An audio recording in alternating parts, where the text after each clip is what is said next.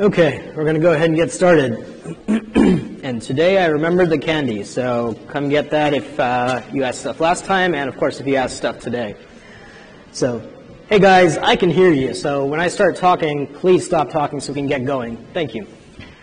Um, I want to start off actually speaking of questions and candy. Somebody just asked me two great questions from last class, and I wanted to share them with you because it might be confusion that um, a number of you might be dealing with. One question was about what does it mean to amplify a signal? You have a ligand and a receptor, and then you have this protein that's activated, and it can activate a bunch more proteins. Is it that the signal is amplified because more things are conveying it, or is it that the signal is amplified because it somehow increases in intensity? Uh, which is a really good question. Most of the time, although both are possible, most of the time it's because more things are conveying it. And the analogy I would draw for you is that if I, if I say something I want to spread the word about to one person, and that person tells one person, it's going to take a long time to get through to everybody.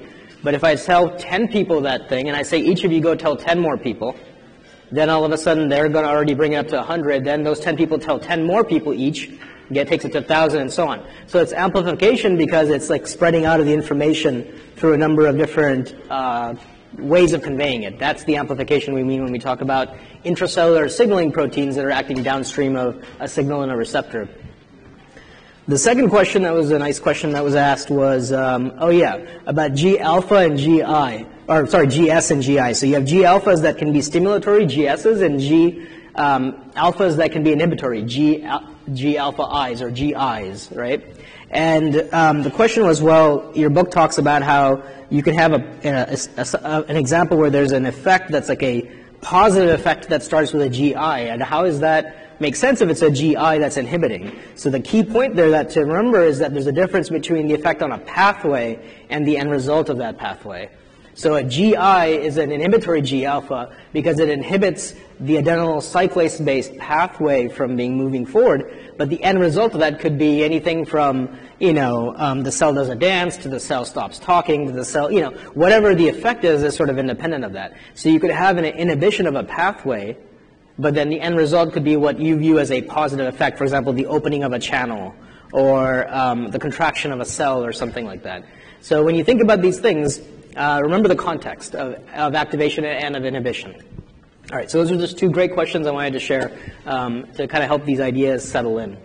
So for today, I'm going to uh, talk about chapter 17 material. We are now leaving cell signaling behind in the most uh, loosest sense of the word because cell signaling is a part of everything. But as far as the details you've been learning, we're going to shift topics um, and for now focus on the structure of a cell, the cytoskeletal elements. Yes? Of course. So for the signaling pathway delta notch, so it basically just cuts off. Does that mean it's not useful anymore? So we have to get another delta notch tail to transfer the signal? Uh, yes. So the question was talking about delta notch signaling that we talked about last time when you cut off the piece of the, uh, the, the, receptor, the notch receptor, and moves into inside the cell. Does that mean that receptor is done for, basically, because it lost its tail? And the answer is yes.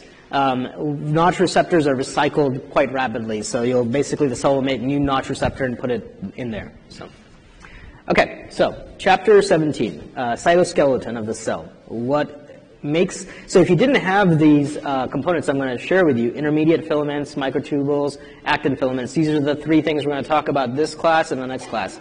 If you didn't have these things inside of your cell, your cell would basically collapse into like this blobby, useless thing because it wouldn't have anything uh, sustaining it. It's somewhat analogous to our bones and cartilage and ligaments, the things that give us structure. So they're not the most exciting things to talk about, but they're super important because without them a cell would be splat and wouldn't be able to do anything. This is what the inside of a cell looks like, um, you know, schematically, very roughly speaking. Uh, so here you've got some structures, some organelles you'll recognize that you've learned about. But what we're going to focus on are these rods that are scattered throughout and these other types of shapes here. These things here are intermediate filaments. We're going to talk about those first today, very briefly. Um, these are microtubules. We'll talk about those next. They're long and thin. And then actin filaments, which are also long and thin, and we'll talk about those in the next uh, lecture. So these are the three main components that uh, extend throughout your cytosol. They're, they, are, they help the cytoskeleton exist. It's attached to the plasma membrane and the membranes of internal organelles. And as such, the cytoskeleton, composed of these three elements, gives the cell shape and organizes its interior. So I'm going to give you two summary slides of these three different types of um, cytoskeletal components. They have redundant information for the most part. Use whichever one you like or both. This slide and the next slide. They basically have the same stuff. I'm going to take you through this one in detail. So um, one thing to get out of, the way, out of the way right off the bat, actin filaments, which is the, what we're going to talk about in the next lecture, uh, a lot of folks also call them microfilaments. In this class, we'll refer to them as actin filaments, which is the most common name, but just be aware if you ever come across this term, it's the exact same thing. The nice thing about this name is it tells you already what these components, what these filaments are made of. They're made of actin. Microtubules are made of tubulin. So again, the name tells you what the component is, tubulin. And then intermediate filaments, the name doesn't tell you much, but we'll talk about those in detail. So shown here are examples with a fluorescent protein labeling these different components. So microtubules in green here, actin filaments in red, and again here intermediate filaments in green. So let's talk about a little bit of what's in this table. Microtubules are made up of uh, protofilaments, and we'll talk about that in more detail. And the subunits of those protofilaments are alpha and beta tubulins. So these are monomers. Remember, you've learned about monomers, dimers, tetramers when it comes to proteins. This is a fundamental building block, a single monomer that called alpha, and this is one beta. And as you can see, they're lined up one after the other: alpha, beta, alpha, beta. They make heterodimers. Hetero for different, dimer for two. So here you go, two different things stuck together. The structure of this is a hollow tube with a wall consisting of protofilaments. Uh, so the inside of this is hollow, and you'll notice here the size of it. This is 25 nanometers wide. You could actually, this is big enough that you could fit either of these into it. This um, actin filaments are only 8 nanometers wide. They'd slide right inside of here uh, pretty easily. And intermediate filaments are roughly about the same size. Intermediate filaments get their name because they're intermediate in size between actin filaments and microtubules. So that's one way to remember them. They're intermediate in size between actin filaments and microtubules. All right? Now, um, don't worry about the actual numbers of the diameters. That's just here FYI. Here are the monomers I already mentioned. And these molecules, microtubules, have polarity. Polarity simply means your top and your bottom, or your plus end, your minus end, your beginning, your end, they are different. We have polarity, right? My feet don't look like my head. I have polarity. Okay? Your cells have polarity. We'll talk about that in detail. And it turns out that uh, proteins have polarity too. You already kind of know this. In fact, you may have explicitly learned that because a protein has an N-terminal end and a C-terminal end. So clearly they're not the same. They have polarity.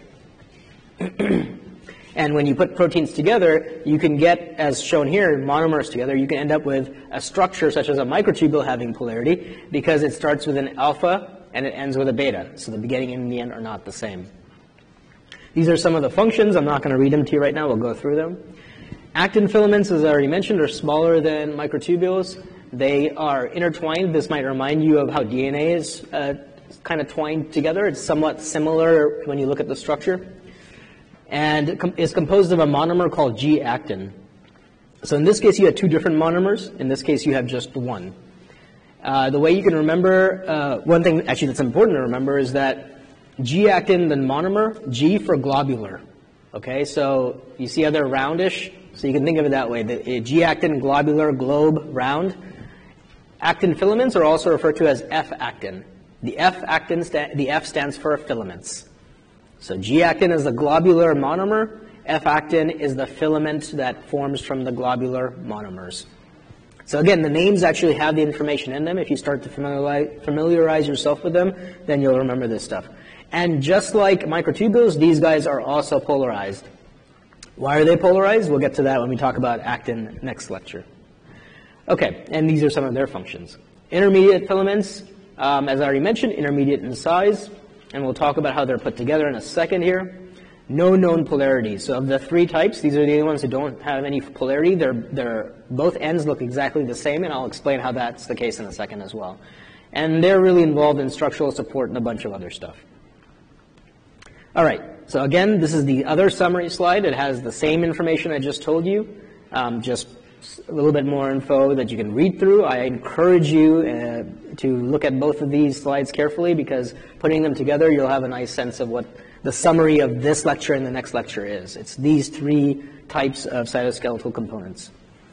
So, oh, and I forgot to mention, one way I like to try and remember these in terms of what they are and what they do is how they look to me. So whether or not, I, it may or may not help you, but as you'll see, intermediate filaments are rope-like, so I tend to think of them as rope. They're really strong. They're involved in structure. They're dense. They're tied together. If you look at rope, it's wound with a bunch of smaller pieces together. Intermediate filaments are a lot like that. Microtubules remind me of uncooked spaghetti. They're long, thin, and while they're stable, if you snap them, they'll break pretty easily.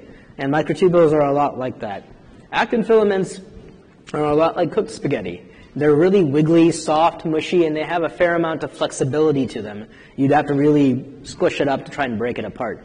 So as you learn about each of these filaments, if it helps you think about them as rope, uncooked spaghetti, and cooked spaghetti, that just works for me. Doesn't mean it has to work for you, but I try to give mnemonics and ways to remember stuff throughout class, so just take what works for you and don't worry about the rest. Okay. So um, another quick summary slide about the contributions to cytoskeleton's mechanical stability. Um, this kind of uh, puts my rope and uncooked and cooked spaghetti into a more formal context.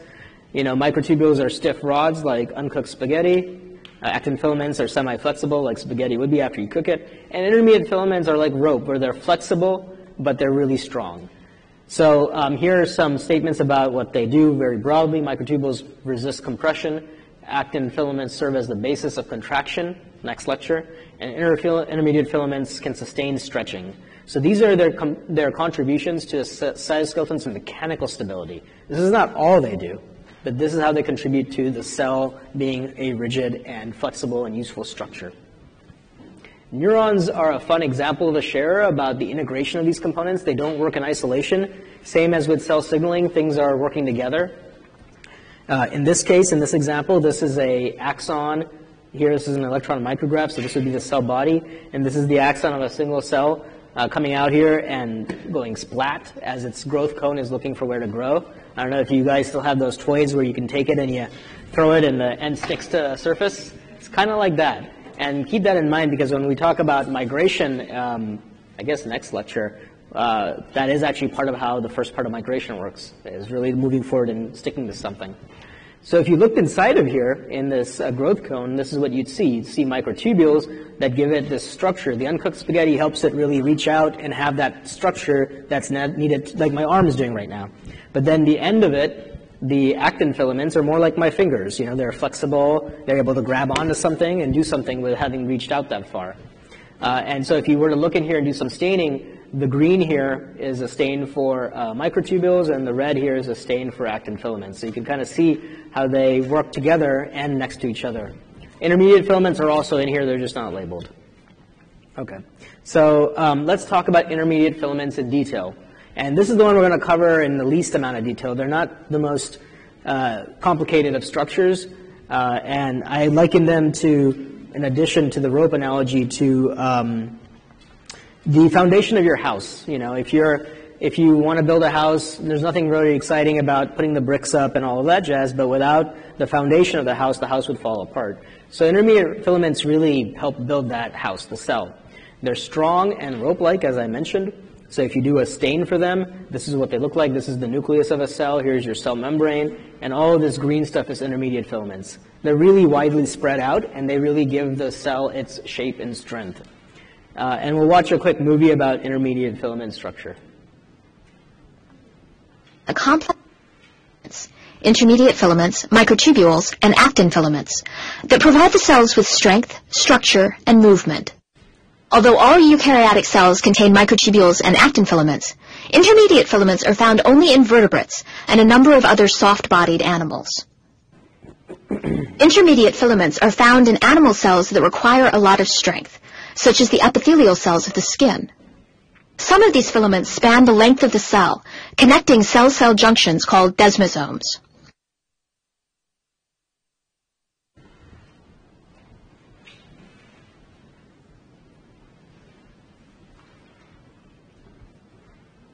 These cables of intermediate filaments have a high tensile strength. Without these filaments, stretching or pressure on the epithelial sheet would cause it to rupture.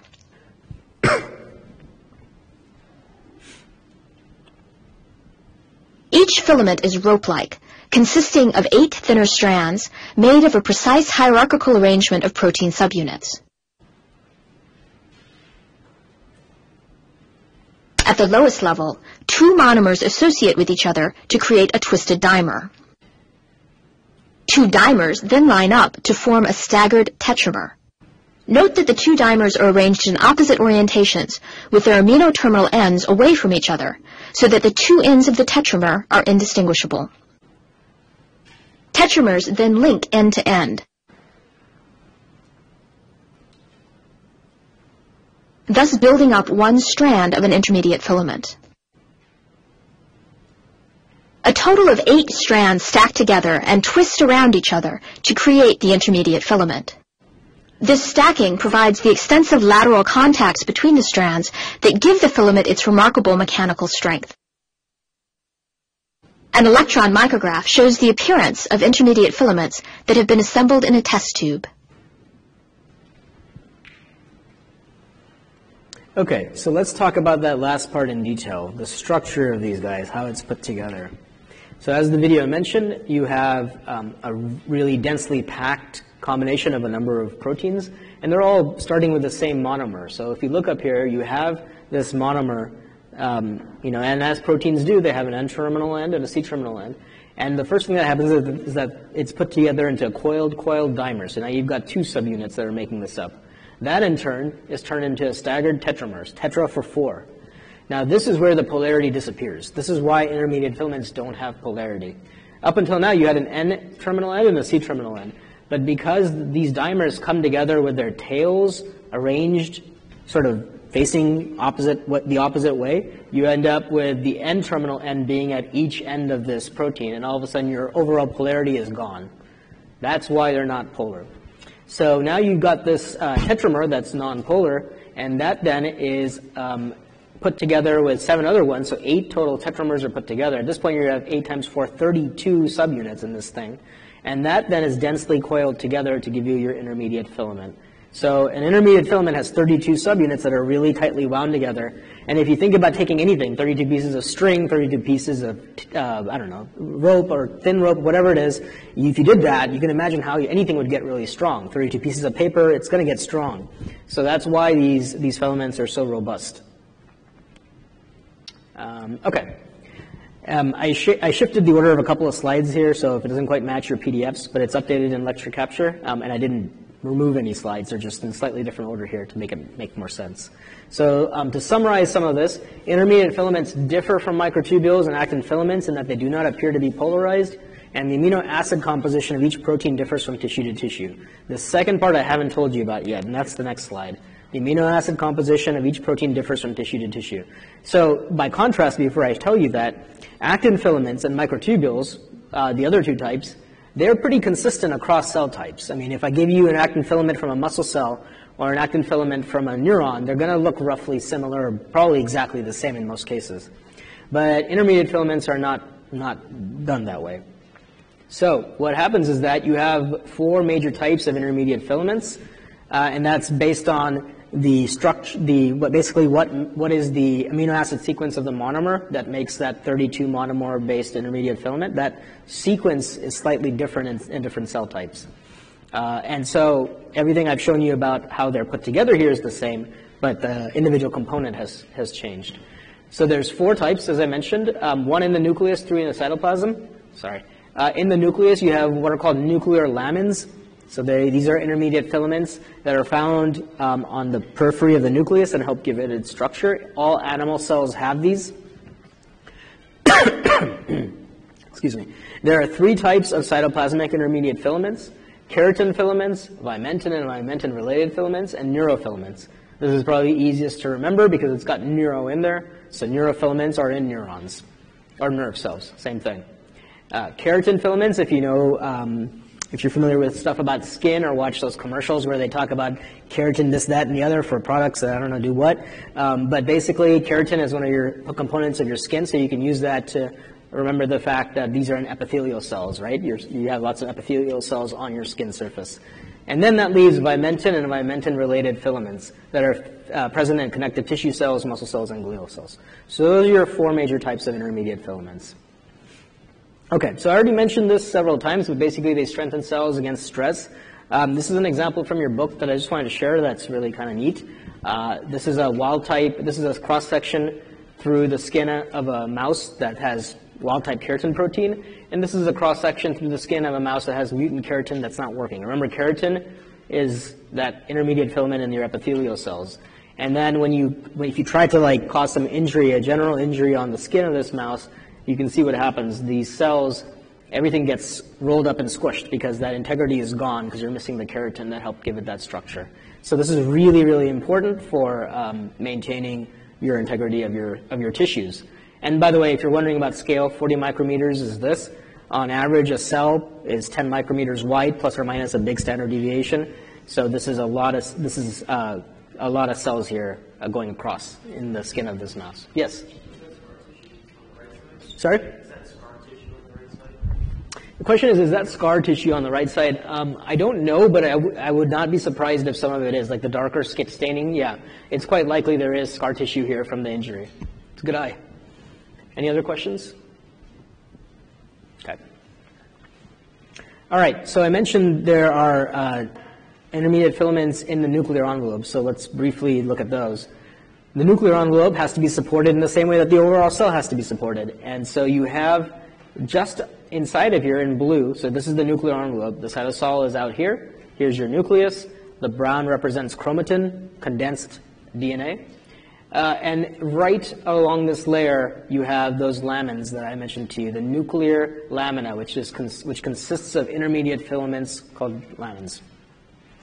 So that's pretty much it there, and this is a cross-section through that. You're looking at a cross-section of those intermediate filaments here. That's how you give the nucleus its stability. And that is all we're going to do in terms of intermediate filaments. All right? Not the most exciting type of uh, thing to talk about again. They basically are foundational to keeping the cell and the nucleus intact, but of course very important as far as staying alive goes. What we're going to do for the rest of the class is talk about microtubules.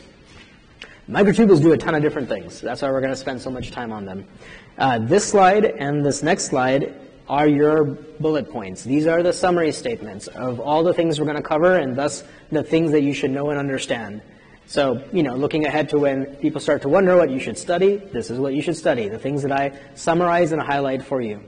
Okay? So this one and this one uh, have all the bullet points. So let's start at the beginning. Microtubules are hollow tubes with structurally distinct ends. I already kind of covered this in the summary slides, but we're going to go into more detail now. So remember the microtubules I mentioned are comp- composed of two different subunits, alpha and beta tubulin, hence the name microtubules. All of this is, you know, fits together, right? Tubulin makes uh, microtubules. They're hollow, like tubes are, so you can remember that they're tubes that way. They're hollow. They don't have anything inside. And this is what they look like. Um, this is from a side view, a single protofilament.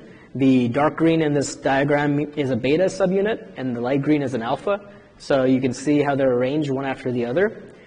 Microtubules have a plus end and a minus end. That's that polarity I mentioned to you. The two ends are different.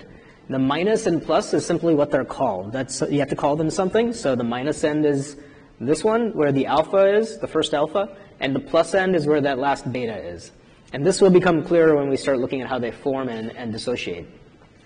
So you take these protofilaments and you line them up one after the other and you start to form a ring. And if you looked at that cross section, this is what it would look like. You have a lumen, an empty space in the middle, and you have this nice structure of microtubules uh, all around. I mean, of the microtubule, composed of these protofilaments all around. This is what it looks like if you take an electron micrograph. You can actually see this. This is a microtubule, and here's that cross section matching right here, and you can see the individual protofilaments there. So we're actually able to image these things and see what they look like. The centrosome is the major microtubule organizing center in animal cells. This is the first use of the microtubules that we'll talk about. The, its use as part of um, the centrosome and how it sends out microtubules across the cell. So let's look at this diagram here. This is a cross section through the cell. Here's your nucleus. Here's a few other things you might recognize, Golgi, mitochondria, etc. Near the nucleus, you will find in animal cells a centrosome. And before I get into that, let me back up a step and tell you what I've written here. So microtubules are nucleated by, well, let me back up a step further actually. What does it mean to nucleate? To nucleate means to start something, to create something from scratch. Okay? Um, and so when it says a microtubule is nucleated, what that means is a microtubule is begun by or started by whatever that thing is. What starts microtubules up are called, micro, appropriately enough, microtubule organizing centers, or MOCs. They organize the microtubules. They start the microtubules. Now, I'm not going to talk about this term MOC beyond here, but again, it is something you'll see a lot because it is the broadest term you can think of that encompasses stuff that makes microtubules. In this class, because we're focused on animal cells, we're going to talk about a specific type of MOC, the centrosome. So centrosome is a type of MOC, and it is the type of MOC found in animal cells. All right? Centrosomes are located near the nucleus, and that's shown in this really pretty image here where you have your cell membranes in red, you have your microtubules in green. Notice if you look at this, it's like it's almost like a spider web that comes back to a point. And this is that central point here. If you looked at these, you see most of them are kind of ending up back here. They're ending up back here because that's where they started and that is the centrosome. So what is the centrosome? Let's zoom in on it and look at it in detail. The centrosome compo is composed of all of these things here. Those things are a pair of centrioles and a centrosome matrix. All right? So um, if, if, the centrosome matrix is this green goop that's basically surrounding these centrioles that are inside of it, and the centrioles are arranged perpendicularly at 90 degrees angle, 90 degree angles to each other. If you want to remember this, I don't know if it helps. I, you know, I try to remember centrioles by thinking, well, they look to me like pasta, and Eol sounds to me like the end of a pasta, but I can't think of a pasta right now that ends with iole. I don't know. So find a way to remember this. But the centrioles are the centrioles are the pastas, and then in the middle, and then you've got this goop around you. That's the matrix. All right. Um, like I said, some of these things will help you, some of them won't help you. um, but anyway, you've got the centrioles in there, and then you've got this matrix, and on the matrix you have nucleating sites. So remember, I just told you nucleation means what? To start something, yes. So the nucleating sites are where you start the microtubules growth. All right? So basically, you have these, and they're called gamma tubulin ring complexes. Remember I told you that here we've got alpha and beta tubulin. There's a third type of tubulin called gamma, alpha, beta, gamma. That's the next letter. And so gamma tubulin makes a ring here, and that ring is the base on which those protofilaments are going to grow out and make the microtubules. So each of these rings represents the start of a single microtubule that's going to grow out from there. That's what's shown here. So these microtubules grow out. The minus end is here, and the plus end is out here. So if you go back here, minus end is at your is bound is basically at your uh, ring, the, and then your plus end is reaching out. Now you can remember that because things thinking about something growing from a minus to a plus is hopefully intuitive, right? You're growing out towards the plus end. Um, yeah. Any questions about this? Yes. They are made up of a big protein complex, uh, and the the centrioles basically help anchor and provide to this matrix. So this matrix is composed of a number of secreted things. Um, beyond that, I'm not entirely sure what they do. I mean, they're usually talked about as like, okay, look here, the centrioles is part of the centrosome, and here's what the centrosome does.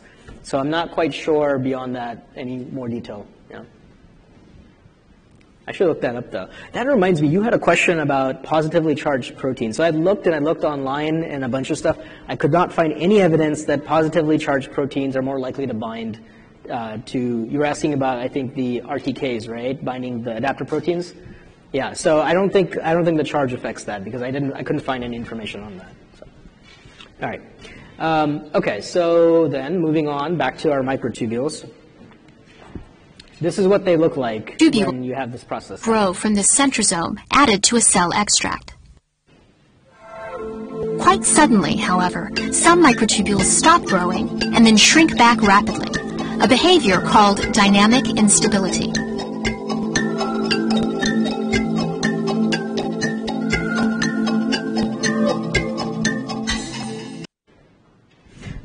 Uh, those were, that, this was basically, Microtubules. this is the centrosome here in the middle, and these are the microtubules extending out. And as you can see, they don't just extend out. What I'll tell you about next is that they also then retract and come back, and that's called dynamic instability, and that's what we're going to talk about next. Uh, before we move on, though, this is kind of bugging me. Joe, do you know if cent- centrioles do anything specific beyond what I said, the vague thing I said? To me, there's just always been this part of the centrosome, but I don't know if they. Yeah. Okay. Yeah, it- it's hard to know. It's- Yeah. All right. Seems like they're given some signals for the microtubules to grow, like it's flash and constantly, so it's like signaling constantly. Well, we'll talk about how that happens. Um, but what I what I don't know is, you know, centrioles, most components, most organelles in a cell have multiple roles. So I, I don't know what, you know, it's possible we, I don't know what we don't know about centrioles, and in fact, even what we do know. But what I can tell you is that their important role here is to anchor and be a part of this matrix that the microtubules grow off of. How they grow is what we're going to talk about next. Okay. So, dynamic instability, what is that? Yes? So the microtubules, they originate at the gamma, That's exactly right. they don't go inside of each? Correct. Yeah. The question was, the microtubules originate at the gamma ring. Do they go inside of the matrix? And no, they originate at the gamma ring. That's the base. And they go out from there. Okay. So this is a really boring, simple diagram about di- dynamic instability to get things started. Here are your centrioles. Here's your centrosome with the matrix. And then you have microtubules growing out and coming back in. So let's talk about how that happens. Uh, the first thing I want to tell you is what one of the things that the dynamic instability accomplishes, and that's shown here. So if you have the cell, and you have your centrosome here, and the arrows indicate microtubules forming and microtubules coming back. If the cell decides that I want to extend out in this direction, one of the ways it can do that is to encourage the microtubules to stay stable in this direction, but not in the other ones. And so that's what's shown here. The microtubules are growing out in all these different directions, but there's a type of protein called a microtubule capping protein in red here.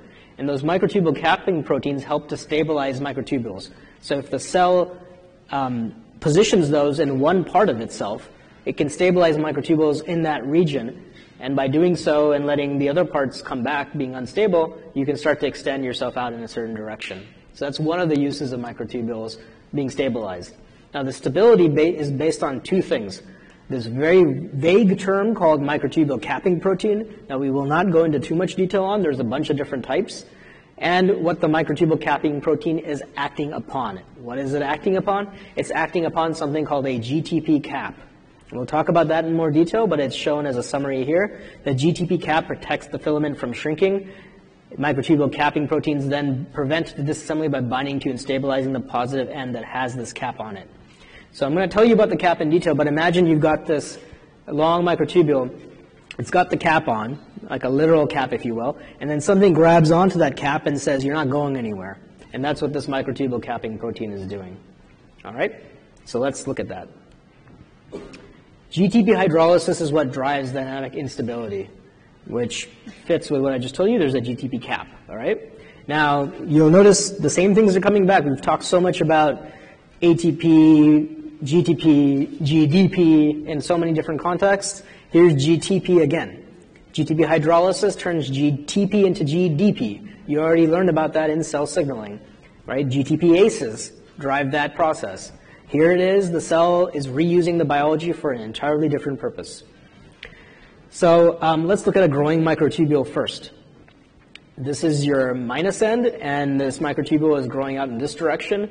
The gr- light green represents, um, uh, well, so these represent alpha and beta dimers that are going to contribute to your, your growing um, microtubule. And the red represents a monomer where GTP is bound to that monomer. So GTP tubulin. What happens is that when you are building your microtubule, what I haven't told you yet is that the tubulin that's added has GTP tagged onto it on one of those two dimer, one of those two monomers. And that's why you end up with basically half of your components here, your monomers, having a GTP cap on it. That GTP cap, so when we say GTP cap, we really are talking about small caps on every dimer, right?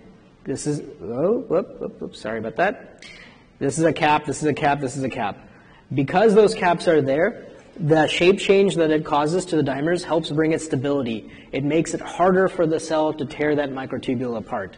As a result, you keep adding and you keep growing. The GTP hydrolysis that would be required here is, is, is not happening quickly enough. Now, conditions can change. A cell can um, change this dynamic, the, the dynamics of this reaction, such that it becomes easier now to hydrolyze this GT, GTP. Sorry, when you hydrolyze the GTP, you take away the that last phosphate group, you turn these back into GDP. So now they're no longer red in this diagram. Now this end of the microtubule is not as stable. These parts remain fairly stable because they're kind of inside and they're, you know, they're surrounded by a bunch of these monomers. But the ones at the end here that are no longer GTP capped, they start to come apart. there's enzymes in your cell that will just tear them apart and there's a low dissociation constant anyway, so these things just start coming apart very quickly. So the default state for this, it's like, um, you know, uh, one of the things you'll notice in a second here that one of the reasons that microtubules are so useful is they can become the highway of the cell and they can help take different components throughout the whole cell. So imagine if Chicago as a city could quickly build a road and destroy the road and build the road and destroy the road to go where you need to go. You wouldn't have to worry about traffic jams anymore because, of course, our roads are falling apart anyway. But if you could just build a new one really quickly, then you'd have a nice new way to travel. And then if people all of a sudden wanted to go that way, you take this road apart and you build the road that way. Now people can go that way. That's one of the major things that the cell does with microtubules, and the dynamic instability is a big part of how it does it. Because these are almost transient structures, it can build them out when it needs to by stabilizing this GTP cap, and then when it doesn't need them anymore, it can uh, promote the dissociation of the cap, the microtubule falls apart, it can use the monomers and build a road to somewhere else. And it keeps doing that over and over and over again. So um, I'll show you a movie that sums up some of what I just told you, you know, just so you have it repetition, and then we'll talk about it some. Oh, yes. To, yeah, so to my knowledge, no. The question was, does the GTP ever attach to the alpha? And I think I remember looking this up a long time ago, and I did not see any evidence uh, anybody's found of that happening. That doesn't mean it doesn't happen or that I didn't miss it, but as far as I know, it uh, was attached to the beta. Yeah. Microtubules. Sorry, it's loud. There we go. And all. Let's try that again without blowing your ears out. Dynamic cytoskeletal polymers essential for all cells. They are made of the protein tubulin, an alpha-beta heterodimer that self-assembles head-to-head, making protofilaments, which themselves associate laterally making a cylindrical wall. Tubulin binds the small molecule GTP or guanosine triphosphate. During microtubule polymerization, this molecule is hydrolyzed to GDP or guanosine diphosphate. The GDP-bound form of tubulin is unstable in the microtubule and give rise to the phenomenon of microtubule dynamic instability by which microtubules switch between growing and shrinking phases. When microtubules lose a critical layer of GTP-containing tubulin subunits, shown in brown, they depolymerize by peeling and curving of the protofilaments. Although protofilament peels are short-lived, we stabilize them for structural analysis to define the tubulin arrangement and conformation within them.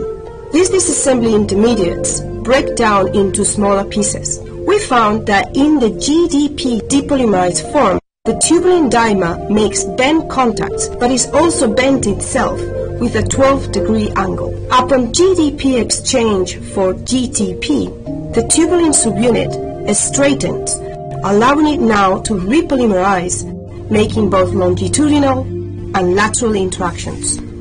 The resulting assembly intermediate is an open sheet that is very short-lived but we were able to stabilize into helical ribbons that were amenable to structural studies by electron microscopy and electroanalysis. This polymer shows the protofilaments arranged in pairs with contacts that alternate between those found in the cylindrical microtubule and new contacts never described before.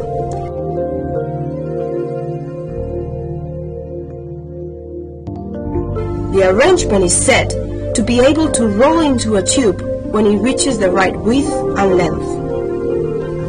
The closing up of the microtubule is a highly cooperative zipping up process. Thus, microtubule growth occurs by sequential sheet extension followed by microtubule closure.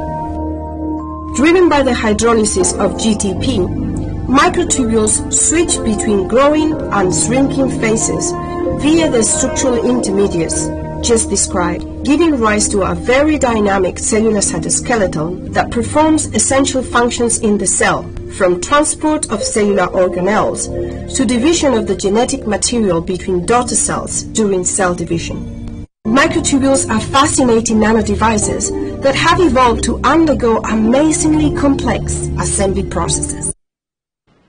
So notice uh, one thing she mentioned, shape changes. She had those angles there, like 5 degrees and 12 degrees or something, but that addition of the GTP, um, capping it, and then its removal when you go from GTP to GDP, is causing shape changes. It always comes, seems to come back to the same thing, right? Proteins change shape, it, it increases or decreases their stability and what they interact with. So some of the same concepts are back. Um, and then I have, I think, one or two more movies just for fun for you contrast, when all microtubules are labeled with GFP tubulin, the true extent of the microtubule cytoskeleton emerges.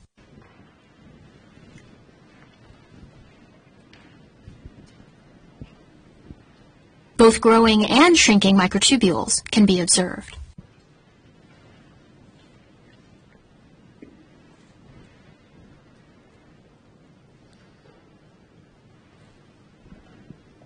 No, I guess that was it. Okay. um, all right. So the next thing we'll briefly talk about is how microtubule dynamics can be modified by drugs. And you might recognize a couple of these names, Taxol and colchicine. Uh, these are, and vinblastine as well, often used to treat um, certain cancers. And one of the things that you'll learn that towards the end of this class we've already kind of touched upon is how cancer cells overproliferate. So if you have a cancer cell over proliferating or proliferating at a higher rate, dividing more than a normal cell, what if you could try to target that cell division and therefore reduce the ability of the cancer to spread? Turns out Taxol and colchicine, both of which are used actively, block cells in mitosis. In other words, they stop cells from dividing. And they do this because they're binding and stabilizing microtubules, or in this case, binding tubulin dimers and preventing them from polymerizing. So whether you are encouraging the microtubules to stay built, in other words, your highway is built out and you're not taking it apart, or conversely, you're stopping the highway from being built at all because you're uh, not letting those dimers make that long microtubule, you have stopped the dynamic instability. And by stopping that dynamic instability, you're interfering with a ton of processes, including mitosis, because as you may recall from your earlier classes in biology, um, the separation of DNA is dependent on microtubules as are many other functions. Now you might be asking yourself, but other cells are also dividing. Your normal cells are dividing. So how can you do this just for cancer cells? And the answer is using a traditional technique like this, you can't. And that's the problem. One of the biggest problems we face in cancer therapy right now is that, um, and why if you know anyone who's undergone chemotherapy, it's pretty brutal on them because in many ways we end up poisoning our bodies to kill off the cancer. You have to do what you have to do. And so anything that affects the ability of a cancer cell to, to, divide will also affect the ability of your normal cells to divide. It's problematic. So we want to get to the day where we can do these chemotherapeutic interventions um, in a targeted manner, where we hopefully can target cancer cells and not so much your normal cells so as to keep you, know, you a little bit healthier during that process. But we'll get to that again towards the end of the class. Um, okay, so the next thing we'll talk about is sort of this, uh, I'll talk about three different bullet points at once. Microtubules organize the cell interior. I've already kind of alluded to that a little bit. Motor proteins drive intracellular transport. We'll talk about what motor proteins are, how they do that, and why we're talking about microtubules. And so microtubules and motor proteins position organelles in the cytoplasm, um, which is part of this transport. So to introduce that, I'm going to step back and first tell you uh, that there are two types of microtubules in your eukaryotic cells. So far, we've only talked about one general type, those in your cytoplasm, your cytosol. Right? And there's a second type, axonemal, and we'll talk about those a little bit later. As you've already seen, cytoplasmic microtubules are very dynamic, dynamic instability. Axonemal microtubules, on the other hand, which we'll get to in a bit, are stable. They don't undergo that dynamic instability. Cytoplasmic microtubules are responsible for organelle transport and the segregation of chromosomes. You saw that already a little bit. Well, you haven't seen it directly, but you've seen the instability, and we'll talk about how that leads to uh, these things. Axonemal microtubules, on the other hand, allow eukaryotic cells to move water over their surface or do other things, and we'll get to that in a bit. But again, this is just kind of an overview slide. So a lot of this we've already covered and talked about. This, by the way, is DNA in blue, and here you've got your microtubules in green pulling it apart. Part of the cell cycle, part of mitosis. Okay, so how do you move things along a, uh, along a microtubule? Um, there's two types of movement, anterograde and retrograde. Anterograde movement is away from the cell body. Retrograde movement is towards the cell body. And you can remember this because retro is old or old school, you know, like my retro fashion sense or something. Um, and that retrograde is going then back, back to the cell body, okay? Whereas anterograde is going out towards the end of the cell. So here's anterograde transport, and this is retrograde transport. A nerve cell is a great example of how useful this is, but it's useful in every cell that you have. Um, if you've got your axon terminal really far away from your cell body, how do you get stuff done over here? Like imagine if you made every protein here and made every decision here, and then the decisions or the proteins have to get over here. That's really tricky to pull off. Why not move some of the machinery over there instead? You know, it's like um, if you're doing assembly of something in the factory and you assemble the whole thing in the factory and you ship it out, that can be quite cumbersome. What if you ship out the parts instead and maybe you do some of the assembly at the very end where it's going? For example, they do this with like parts of the space shuttle and stuff like that. So um, in this case, uh, you transport those parts, whatever they might be, you need two different parts of the cell. Uh, and it happens along microtubules. How does this happen? Well, let's talk about it. So to first remind you then, I love this image. This is gorgeous, right? So here you've got your nuclei in green, your actin is in purple, which we haven't talked about yet, and your microtubules are in yellow. You can kind of guess where some of these, um, these centrosomes are. So here's a likely centrosome right near the nucleus. And this really gives you a sense of how it's the highway of the cell. Shown here is a detailed view of how the transport is happening along these microtubules. This is a recap of what it's composed of, so we won't get into it.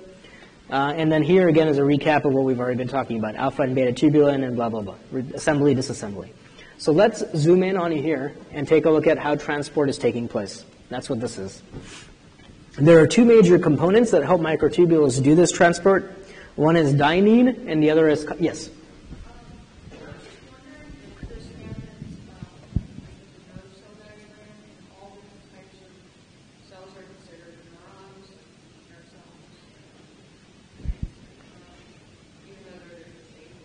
Yeah, so the question is, do you have this transport happening in all different types of cells, even if they're different shapes or different types of cells? And absolutely, yes. This is something that's quite common to across your cells. The nerve cell is just a really nice example, but there's many examples. And some of those we're going to talk about right here, actually. So um, in this diagram, here's your centrosome. There are your centrioles. This is your matrix.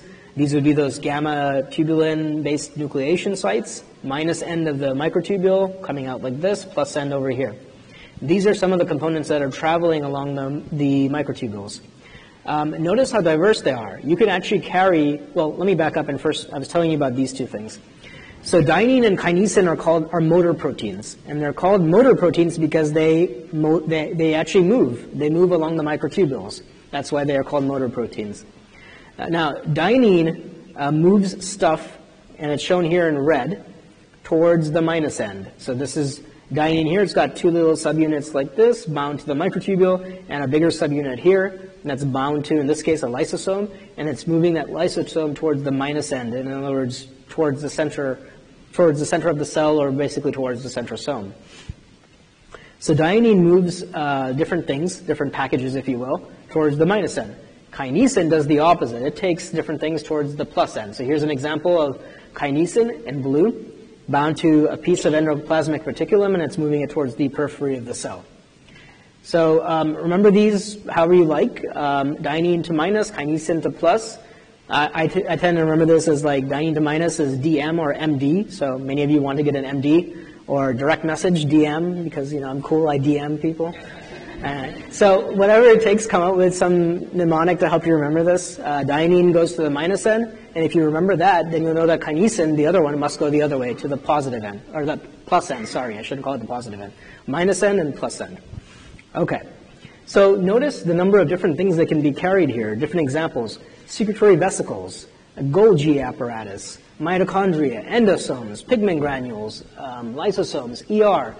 These things that we learn about in class as, oh, look, there's a mitochondrion sitting there. Oh, look here, we're going to teach you about the ER, and we're going to teach you about, you know, cis and trans Golgi, and you, it creates an impression that these things are just hanging around, right, in one spot in a cell. Not the case.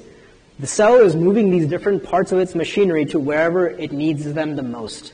There's a lot of rapid movement happening back and forth inside of your cell. And it's dependent in large part on these microtubules. So they really are the highways of the cell, taking things where they need to get to. And if you remember that neuron example with the long axon, now you can imagine that if you really want to create a bunch of, um, let's say, modified proteins at your axon terminal, maybe you want to take some of your ER and ship it that way, right? So it's a pretty neat process actually to make things more efficient for the cell. Any questions about that so far? Yes.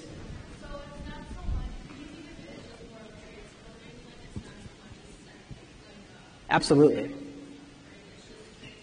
Correct. Yeah, it's transport. It's pure and simple transport. Mm-hmm. Um, okay, so motor proteins, how do they work? Protein kinesin is two identical motor heads.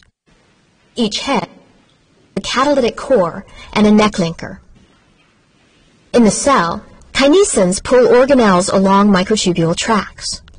The organelle attaches to the other end of the long coiled coil that holds the two motor heads together. The organelle is not shown here. In solution, both kinesin heads contain tightly bound ADP and move randomly, driven by Brownian motion. When one of the two kinesin heads encounters a microtubule, it binds tightly.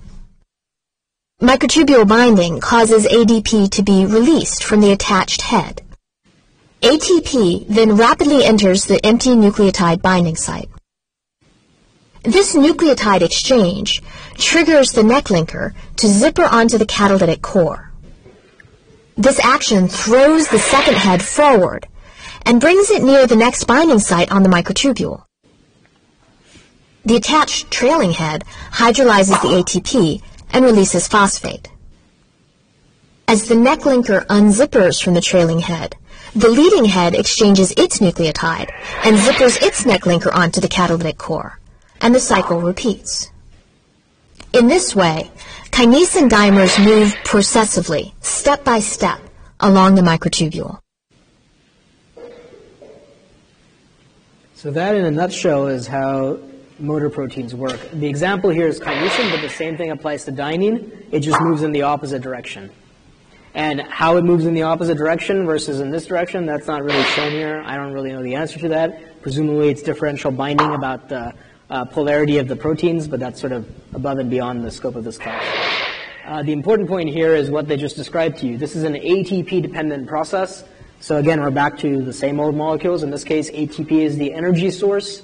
It, it, the binding uh, or the exchange of ATP and then the hydrolysis it not only is it creating the energy that's going to make a active process happen, but it's causing shape changes that help this bind or unbind from the microtubules in a sequential way that moves everything forward. And that's shown here uh, step by step in this diagram. Uh, and this is just an explanation. This is basically what I said. So the front head binds or hydrolyzes ATP more slowly. Then the rear head comes loose from the backside, floats forward, and then it's going to bind and repeat the process. And if, if you do this enough times, you're going to basically step forward one after the other.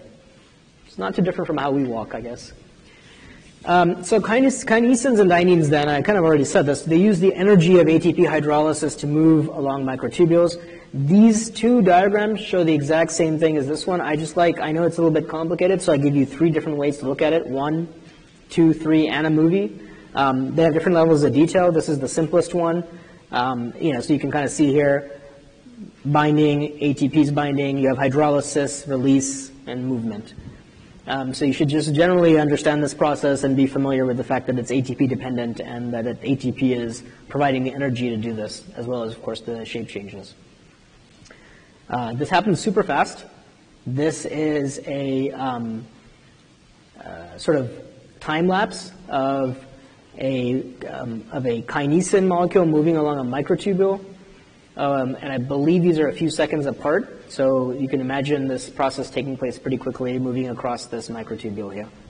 And now I'll show you one more video that kind of, that illustrates this in action. You're going to see little components moving along the microtubule. And you might also recall, recall a video I showed you last week from Twitter where there was um, something being carried, uh, RTK was being carried along um, a cytoskeletal component. And at that time I told you, oh, I'm not going to tell you what that component is. Well, that component was a microtubule. And the RTK was being carried along that microtubule by either a kinesin or a dynein.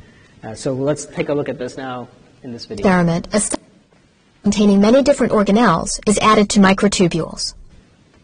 Motor proteins are normally attached to the organelles.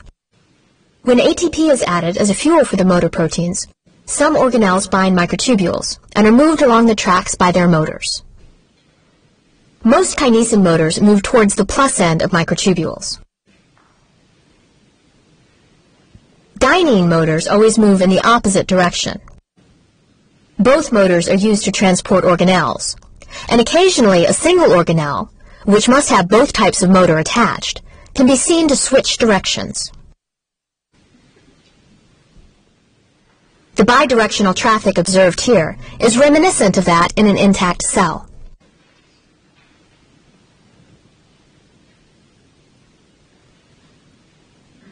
All right, and then just for fun, I have a few more videos for you, some of which I've shown you before, and now they'll have a lot more context. So let's just play those.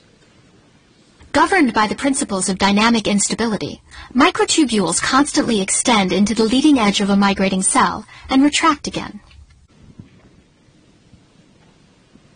Superimposed on the dynamic microtubule cytoskeleton, shown here in red, the membrane network of the endoplasmic reticulum, shown here in green, exhibits its own dynamic behavior as tubes are extended by motor proteins on the microtubule tracks.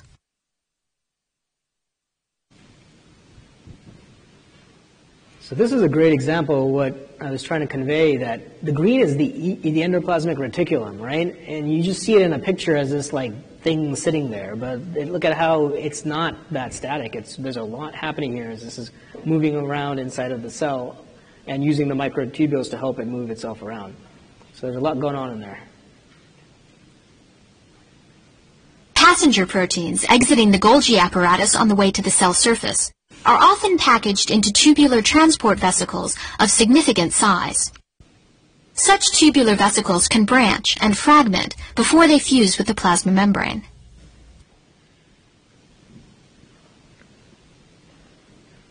The transport vesicles move along microtubules, which are stained here with a red fluorescent dye. The green cell in the corner does not contain fluorescent microtubules. You can see those little tiny dots moving around there. You know, when we taught you about, Dr. Lin taught you about exocytosis, it's like, oh, okay, yeah, you make these vesicles and then they get, the stuff gets spit outside the cell. Okay, but how does it get there? Now you know how it gets there. These different things we tell you about, everything's connected, right? So these exosomes are using these uh, microtubules as a transport mechanism. Fluorescently labeled membrane proteins start their journey to the plasma membrane after synthesis in the endoplasmic reticulum. They are first dispersed throughout the extensive membrane network of the endoplasmic reticulum, from where they move to exit sites that form in random locations in the membrane network. At each of these sites, the membrane proteins are concentrated and packaged into transport vesicles. Clusters of the transport vesicles fuse to form transport intermediates. At the next stage, transport intermediates move along microtubule tracks to the Golgi apparatus near the center of the cell.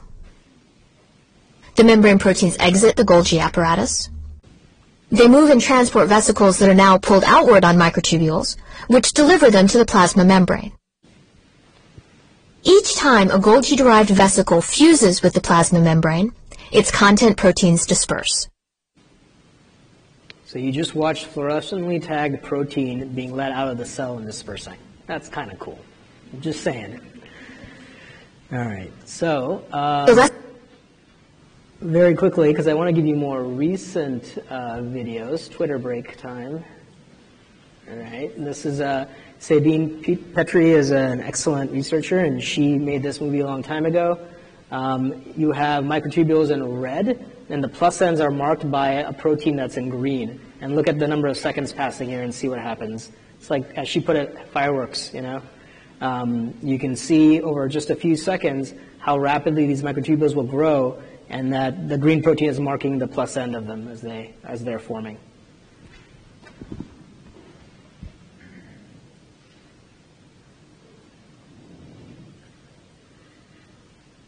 And presumably she's adding something to the culture to stimulate the growth really rapidly. We don't know what, but something in this experiment. So that's kind of fun. And as a prelude of the next lecture, another video from Dylan Burnette, whose work I've shown before. Actin filaments in this one are going to be red and microtubules are going to be green. Uh, and you'll see how closely interacting they are. And what happens when he um, adds actin monomer after he's taken it away to the system. So you've got actin and, and microtubules. At first, there's not enough actin there. Then he adds some actin, which is going to be in red, and see what happens. So let's start this from the beginning. All right. So you wash it out, and you know the actin go, filaments go away. Microtubules are there, and then you know if you start it over, then then it, I think he adds it, or, or he starts with it not being there. Yeah. So it's a dynamic process basically. So it's kind of neat to watch take place. Okay. So that then takes us back to our lecture slides. We have uh, about 10 to 15 minutes to go.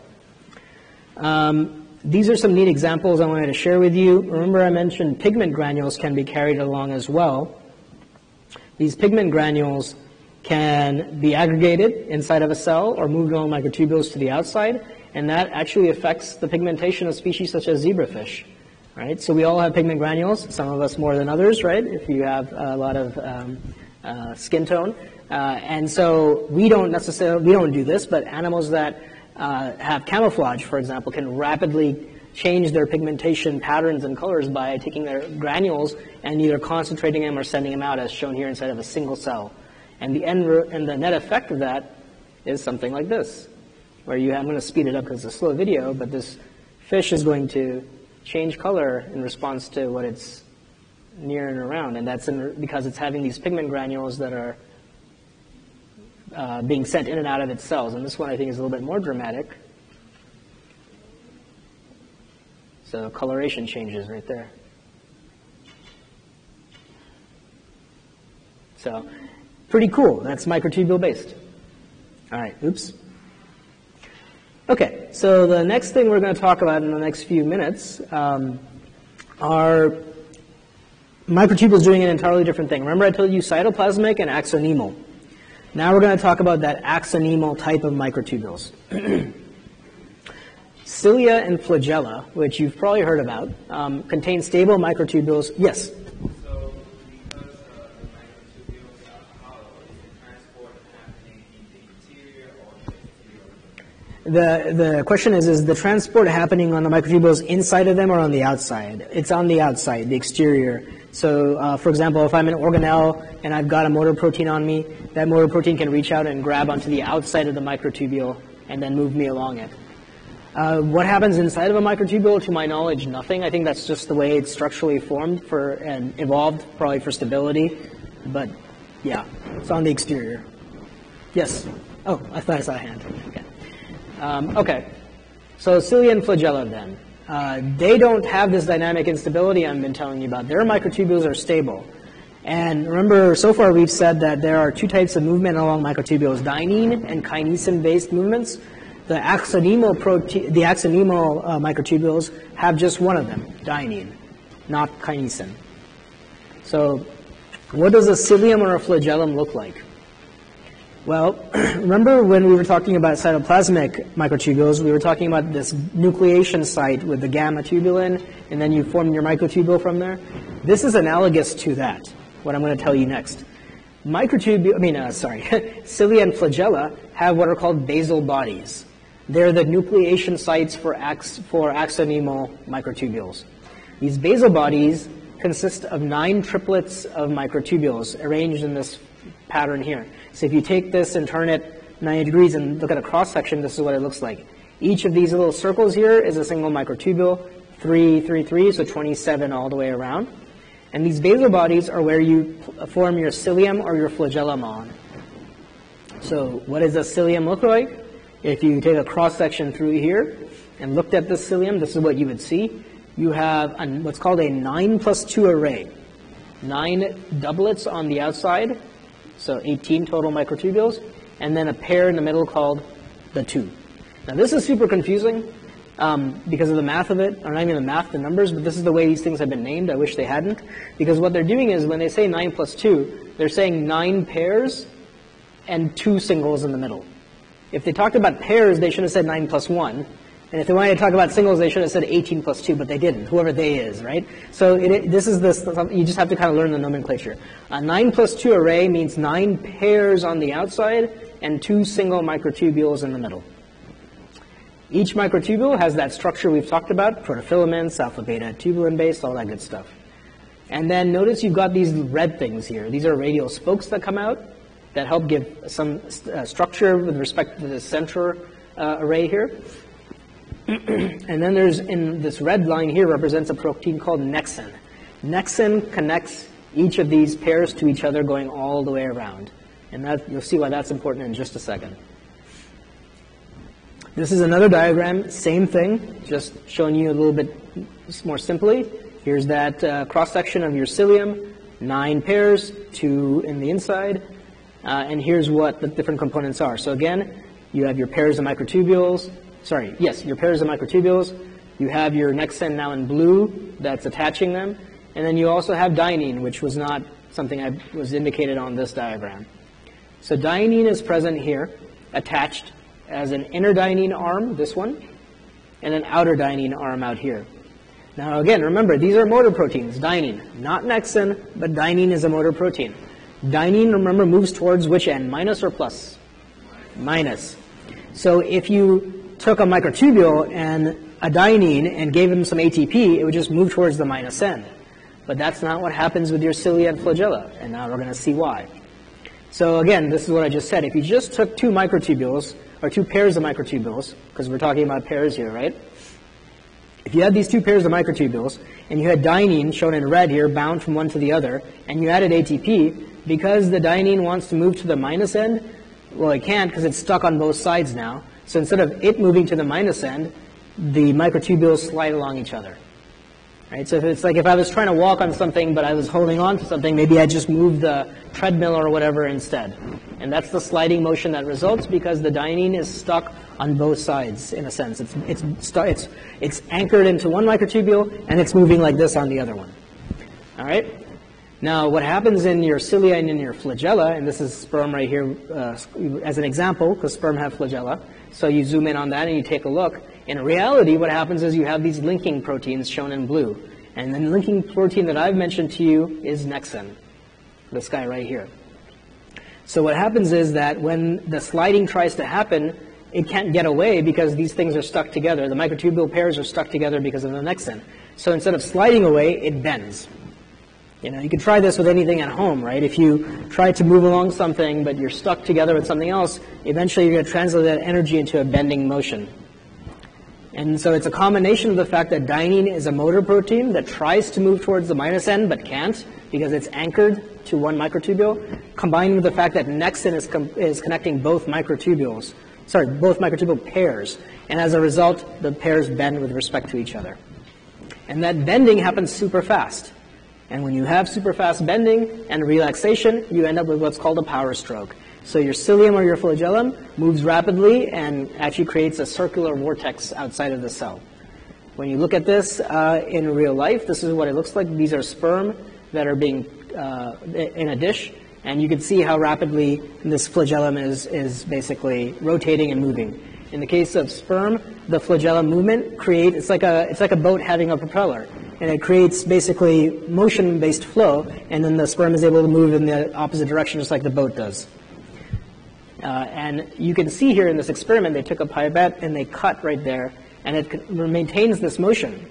because of what I just told you. The motion is not dependent on anything in the cell here.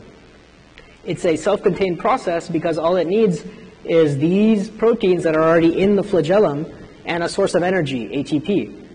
And when you have that source of energy, remember, that's how uh, motor proteins are going to work, is they move, they try to move. So it's a self-contained process where all you need is the proteins and an energy source to do this. Okay, any questions about this?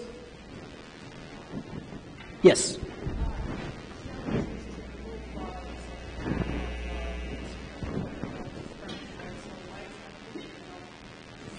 Oh, in this in, in, in this image, why is the sperm not moving? Uh, I don't know. It's possible they have it in some sticky substance, probably, or like like in a glycerol-based thing, or maybe it's on a dish or something like that. Um, you know, you, there's only so much force that it's going to generate. I, also, I, I just I, it's a little bit. I mean, I don't know what speed this was filmed at, but based on the movement of the pipette, if this is real-time speed, it's not very fast. So it's possible that they they haven't given enough ATP to generate enough force to get it to move. Yeah. Any other questions? Okay, so the last thing I'll leave you with today, and don't start packing up. I should stop saying that because as soon as I say last thing, everybody starts to. Anyway. Okay, so is uh, cilia. So this, these are flagella on sperm. Cilia are like flagella. In other words, if you cut one open and look at the cross section, it would look exactly the same, but they're a lot shorter. And instead of being a motorboat that's got a propeller, you really have something that's kind of sticking off of a cell that instead of moving the cell, its job is to move something outside of the cell. And we have cilia in many of our tissues that perform really critical functions. So for example, you know, like uh, last week I had a, a, cold that I'm getting over, and um, you bring up a lot of phlegm. That phlegm comes up because in your lungs you have cells that have rapidly beating cilia, and those cilia are acting as vacuums, not vacuums, but like um, brushes. And they're brushing all this stuff out of your lungs, the gunk, and bringing it up into your upper respiratory tract. All right, so they're really critically important uh, in your airways as respiratory cilia, shown here in green on this cell.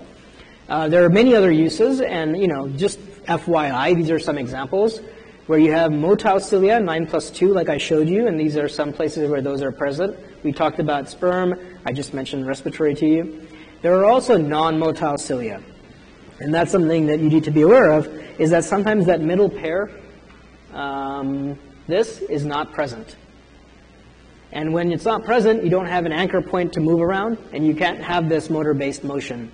And so those cilia don't move, but they have other functions that they do. For example, when you smell your coffee, you're using cilia on olfactory receptor neurons in your nose. All right, and there's a lot of other uses for non-motile cilia in, in various tissues as well. There are exceptions to this. On rare occasion, you can have 9 plus 2 like this, where you could move, but they don't. And on very rare occasion, you can have the absence of that middle pair, and you can still move, but not very effectively. So in biology, there's always an exception to every rule, right? But basically, this is the general rule. 9 plus 2, you're motile. If you're 9 plus 0, you're non-motile.